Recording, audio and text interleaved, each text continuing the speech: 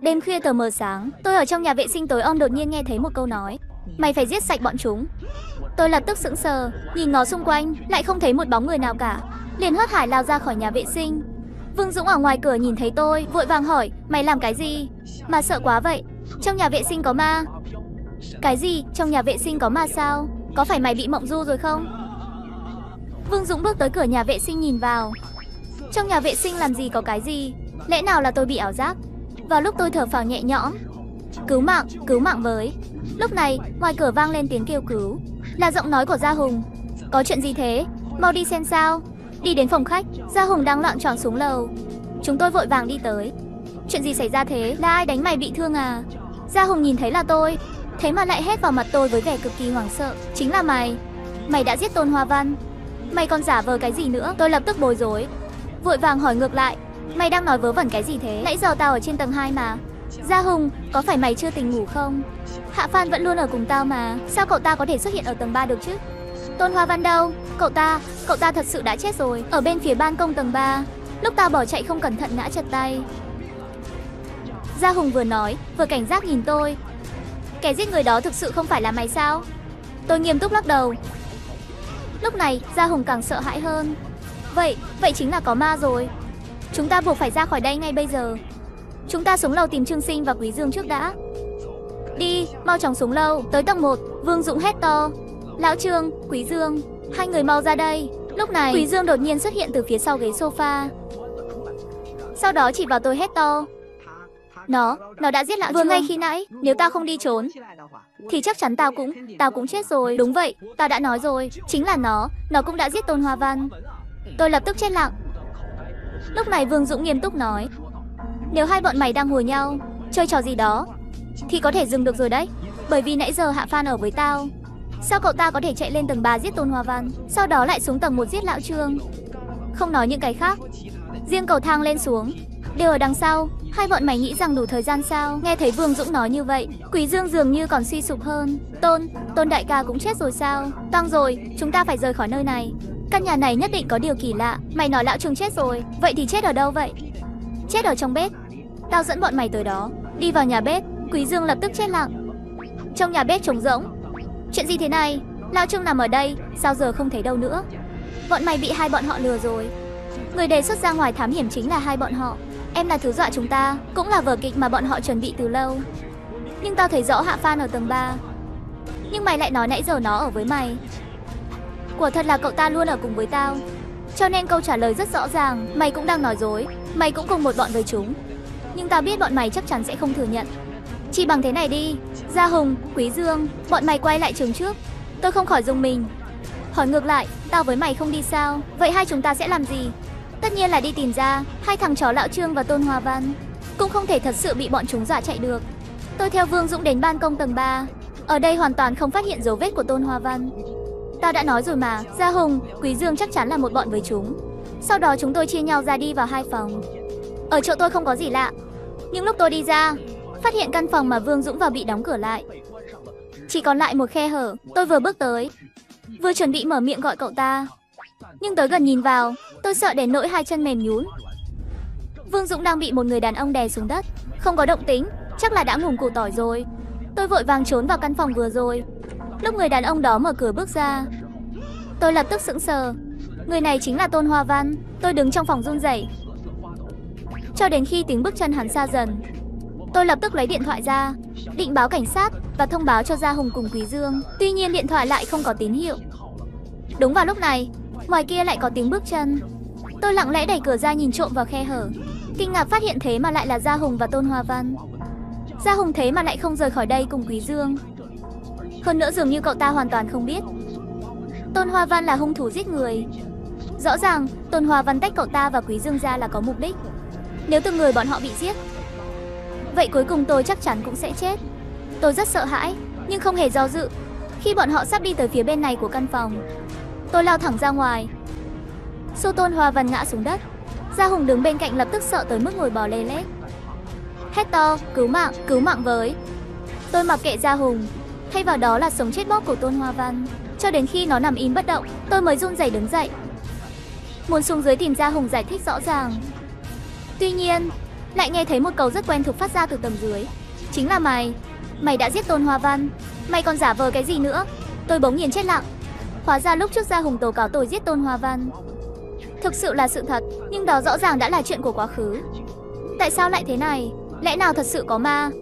Tuy nhiên, lúc này ở trên tầng 2, đang xảy ra lặp lại những chuyện tôi từng trải qua. Điều này có nghĩa là tiếp theo cũng sẽ có một tối khác ở dưới đó. Tôi nhanh chóng quay người chạy tới chỗ khi nãy. Phát hiện Tôn Hoa Văn vốn nằm ở đây, thế mà lại biến mất. Đây lại là chuyện gì thế này? Nếu có hai tôi, thì có phải cũng có hai Tôn Hoa Văn không? Một Tôn Hoa Văn còn sống khác. Liệu cậu ta có tìm tôi trả thù không?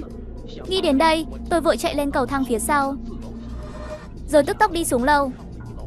Tới tầng 1, tôi vừa hay phát hiện bọn họ đang từ nhà bếp đi ra. Chính là những gì tôi vừa trải qua khi nãy.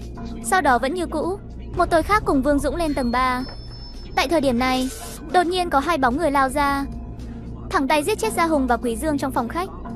Đợi khi nhìn rõ mặt bọn họ, tôi sốc cực kỳ. Thế mà lại là Trương Sinh và Tôn Hòa Văn. Sau đó bọn họ đi vào một căn phòng gần đó. Tôi cắn răng cắn lợi đi theo. Thông qua khe cửa, tôi nhìn thấy bọn họ đi vào tủ đồ. Tuy nhiên lại mãi không thấy ra.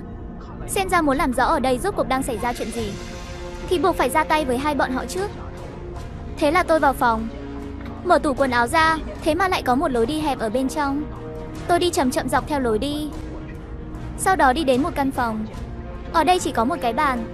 Bên trên có vài tờ giấy đặt lung tung lộn xộn. Tôi không nhịn nổi cầm lên xem. Quả nhiên căn biệt thự này có vấn đề. Hóa ra từ rất lâu về trước, địa chỉ cũ của biệt thự lại là một ngôi chùa bị nghi ngờ là để trấn áp ác quỷ. Cách đây không lâu, bà nam hai nữ đã qua đời một cách kỳ lạ ở đây. Tôi lại nhặt một tờ giấy khác lên đọc. Tôi lập tức cứng đờ ngay tại chỗ. Ba người nam chết ở đây thế mà lại là Vương Dũng, Gia Hùng và cả Quý Dương. Bạn đồng hành của tôi đều là ma. Vậy Trương Sinh và Tôn Hoa Văn thì là thế nào? Xem ra tôi muốn thoát khỏi đây. Chỉ có thể ra tay với hai bọn họ. Tôi bước ra khỏi phòng, men theo lối đi hẹp tiếp tục tiến về phía trước. Lúc này cánh cửa phía trước đột nhiên vang lên giọng nói. Tôi nhẹ nhàng đẩy mở một khe hở. Hóa ra là nhà bếp ở tầng 1. Trương Sinh đang đứng đó một mình. Tôi không nghĩ nhiều, cả người thình lình lao nhanh tới. Hung dữ hỏi cậu ta, nói mau, phải thế nào mới có thể rời khỏi đây? Trương Sinh đau đến mức dường như sắp bất tỉnh. Đột nhiên lại mỉm cười, Mày là Hạ Phan, mày đã phá vỡ trình tự rồi sao? Tôi hoàn toàn nghe không hiểu, đành phải hỏi cậu ta lại lần nữa, nói cho tao biết, làm thế nào để thoát khỏi đây? Trương Sinh vẫn cười cười, nhưng cậu ta đã dần mất nhận thức. Và vào đúng lúc này, đột nhiên có tiếng bước chân sau lưng tôi. Tôi nhanh chóng quay đầu lại nhìn, thì ra là Quý Dương, cậu ta đã chạy ra khỏi bếp, nhưng tôi mặc kệ. Tôi đại khái hiểu được trình tự mà Trương Sinh nói. Có nghĩa là gì rồi? Tức là ở trong biệt thự này, có nhiều nhóm chúng tôi khác nhau. Mặc dù tôi không hiểu rõ, nhưng tôi biết một tôi khác và Vương Dũng sắp tới đây rồi. Tôi lập tức quay lại gác lửng của biệt thự, tiếp tục tiến về phía trước. Không lâu sau, Phía trước xuất hiện một căn phòng có ánh sáng. Tôi cẩn thận từng chút một bước tới. Đột nhiên bên trong vang lên giọng nói, cuối cùng mày cũng tới rồi, ta còn tưởng mày không tìm thấy được nơi này. Tôi sững sờ trong giây lát, lúc này Trương Sinh từ bên trong bước ra. Tôi bị dọa sợ ngồi phịch xuống đất. Mà điều đáng sợ hơn là Tôn Hoa Văn cũng từ bên trong đi ra. Tôi nổi da gà khắp người từ trên xuống dưới. Phải biết là tối nay tôi cũng đã từng giết hai người này một lần rồi.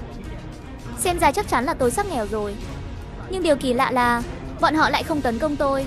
Đừng sợ, bọn tao sẽ không làm gì mày đâu. Mau vào phòng đi, bọn tao sẽ giải thích rõ ràng với mày. Trong phòng trống rỗng Tôn Hoa Văn và tao là người sống. Bọn tao cũng bị mắc kẹt ở đây. Bọn tao không hề tham dự vào chuỗi tuần hoàn này Cho nên tao có thể giữ được toàn bộ ký ức. Bao gồm cả việc mày giết tao trong bếp khi nãy Tao còn cười với mày. Bởi vì tao rất vui. Cuối cùng thì bọn tao cũng tìm thấy mày rồi. Tôi hoàn toàn sững sờ Vội vàng hỏi lại Ý mày là sao? Cuối cùng cũng tìm thấy tao có nghĩa là gì vậy? Lão Trương và tao đã bị mắc kẹt ở đây rất lâu rồi Trải qua nhiều chu kỳ tuần hoàn. Bọn tao luôn cố tìm cách thoát khỏi đây. Do đó mấy căn phòng trong khe tủ Đều là do bọn tao sắp xếp. Nói như vậy chắc là mày hiểu rồi phải không? Tôi lắc đầu lia lịa Hoàn toàn không hiểu ở đây rốt cuộc đang xảy ra chuyện gì. Đầu tiên, điểm thứ nhất Trong căn nhà này không chỉ có ma Mà còn có một con yêu quái. Ma chính là ba linh hồn đã chết đó. Trong chuỗi tuần hoàn liên tục bị sắp xếp trở thành bạn của mày. Mà con yêu quái ở đây, nó có thể tạo ra không gian, và không gian mà chúng ta đang sống là do nó tạo ra. Nhưng thật đáng tiếc, không gian này đã bị bóp méo, cho nên mới xuất hiện lặp đại nhiều chúng ta như vậy. Nhưng tao và Tôn lão đại, bọn tao dần dần lưu giữ ký ức về từng chu kỳ. Điều này cũng khiến bọn tao bắt đầu làm rõ tình hình, đồng thời bắt đầu tìm cách rời khỏi không gian này. Và mấu chốt để rời khỏi đây chính là tìm ra người phá vỡ trình tự, người đó chính là mày. Nghiêm túc mà nói, là mày hiện tại, mày cũng giống như bọn tao, hoàn toàn không nằm trong trình tự. Cho nên mày có thể thoát khỏi không gian này. Mặc dù lắng nghe những gì bọn họ nói, nhưng tôi vẫn rất bối rối. Bây giờ chỉ trông chờ vào mày, cuối cùng bọn tao cũng có cơ hội thoát ra ngoài rồi. Vậy tao phải làm gì? Mày phải giết sạch bọn chúng. Ý mày là sao? Giết chết ai? Tại sao lại làm như vậy? Bởi vì chỉ có giết sạch bọn chúng mới có thể khiến trình tự xuất hiện lỗ hổng. Mày đã từng giết ai rồi? Chưa có ai hết, chỉ có hai bọn mày. Vậy thì mày buộc phải giết ba người đó. Hơn nữa chỉ có mày của hiện tại mới làm được. Xét thấy hiện tại bên ngoài có khả năng rất có nhiều mày. Mày mang cái này vào, bọn tao có thể nhận ra ai mới là mày của hiện tại. Tôi luôn cảm thấy sự việc có chút kỳ lạ, nhưng tôi vẫn nhận lấy món đồ. Hạ Phan, bây giờ mày lên tầng 3, có thể vừa hay gặp được Vương Dũng đang lạc đàn. Sau khi giết nó, mày đi xuống tầng 1, chính là thời gian tao và Trương Sinh đang giết Gia Hùng và Quý Dương. Tuyệt đối đừng sợ, bọn tao có thể tương thông ký ức, bất kể là bọn tao khác thì vẫn đều sẽ giúp mày. Bọn họ nói hết chuyện này đến chuyện khác, làm đầu óc tôi rối bời. Có điều tôi đã quyết định làm như vậy rồi. Thay vì cứ không ngừng lặp lại ở đây, chi bằng liều một phen, đi đến tầng 3. Cổ nhiên nhìn thấy Vương Dũng đang ở một mình, tôi không nghĩ nhiều, trực tiếp lao tới giết chết nó. Sau đó tôi đi xuống từ cầu thang phía sau Đi đến tầng 1 Lúc này có hai bóng người xông ra không bất ngờ chút nào Là Tôn Hoa Văn và Trương Sinh. Họ đã phát hiện ra tôi Cho nên họ không hề giống lần trước. Trực tiếp giết ra Hùng và Quý Dương Thay vào đó là lao tới chia nhau ra giữ chúng lại. Có vẻ như mọi thứ trong vòng lặp đã thay đổi. Trình tự cũng đang được thay đổi Tôi không hề do dự Xông tới giải quyết bọn chúng Sau đó vội vàng hỏi Tiếp theo thì sao, thoát thế nào Mở cửa tầng 1 là được hơn nữa cũng chỉ có người phá vỡ trình tự mới có thể mở được. Tôi không nghĩ nhiều, đi thẳng tới cửa. Đẩy cửa ra một phát. Một luồng sáng chói lá chiếu vào. Đợi khi mở mắt ra, lại phát hiện mình đang nằm trên giường. Mọi chuyện xảy ra đêm qua cứ như một giấc mơ.